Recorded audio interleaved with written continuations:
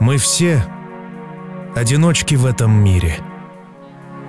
Понятные для одних, непонятые другими, часто непонятые самими собой.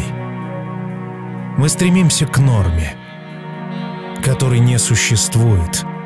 Мы ищем своих в океане искажений.